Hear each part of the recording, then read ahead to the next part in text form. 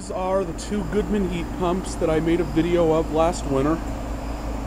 This one never seemed to be running, and this one gave me an awesome steam show last January. I just happened to be walking by at the right time and it went into defrost and gave me an awesome steam show.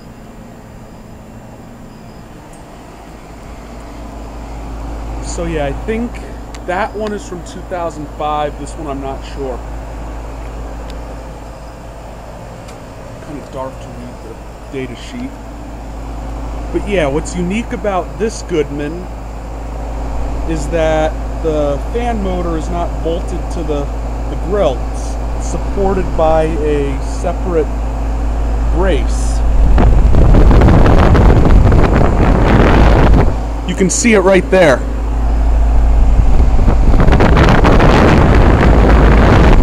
And in case you haven't figured it out by now, it is running in cool mode. It's not that hot right now, but it's very humid. It is about 8.35, about to turn 8.36 p.m. So I'd say it's in the low 70s with high humidity.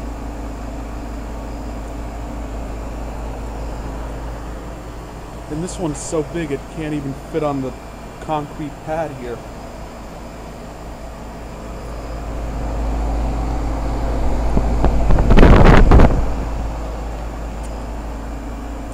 If I remember correctly, I think this one's a 5 ton.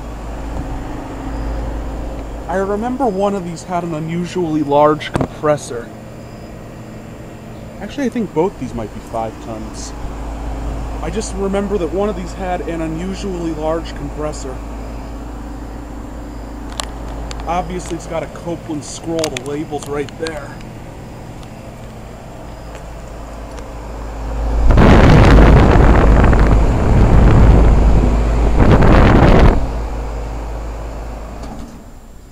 And it just shut off.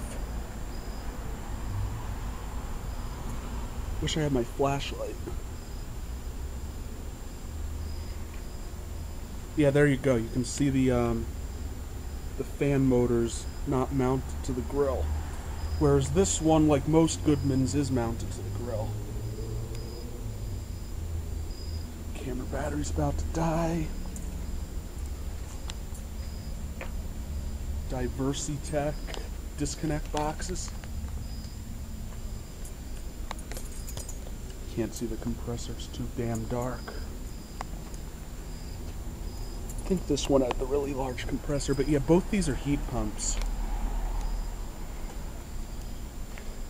So yeah, that was one of the Goodman heat pumps running in cool mode. Thank you for watching. Hope you enjoyed the video.